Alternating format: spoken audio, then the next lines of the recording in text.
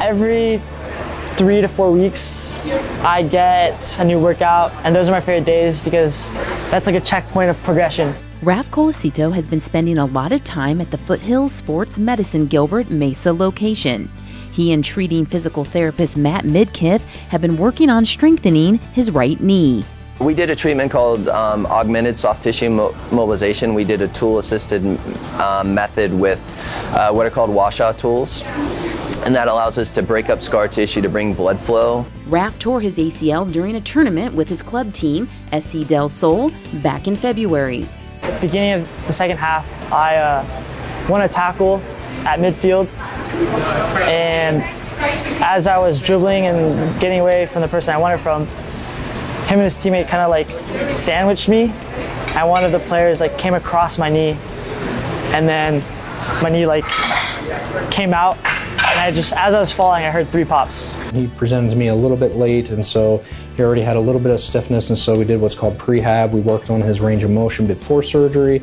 Um, it's always better to have uh, good range of motion, good quad control, normal gait before you go in to do an ACL reconstruction. OrthoArizona sports medicine specialist Dr. Shelden Martin did Raf's surgery back in April. A lot of times it's uh, an issue of educating these patients and these athletes about the recovery period and understanding that this is really kind of a year out of their life. The doctor and Midkiff have been working together to help Raf recover from his injury. The first six weeks after surgery, our goals are really just controlling swelling, getting the range of motion back. After that, it's really working on getting the quadriceps muscle to start uh, getting back its strength and its bulk, uh, and that takes many, many months. And then at three months is usually when we start progressing to, to running.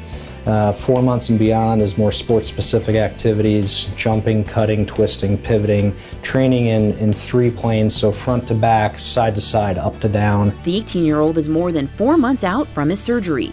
Once they get past that four month time frame, the graft is kind of as strong as it's going to be. The bone is healed around the graft, and ultimately we can start to challenge the knee with different, more lateral and rotational patterns. Raf is working hard to not only get back to the sport that has been part of his life since he was three years old, he wants the opportunity to try out for the Division One men's soccer team at Grand Canyon University. He will be a freshman in the fall.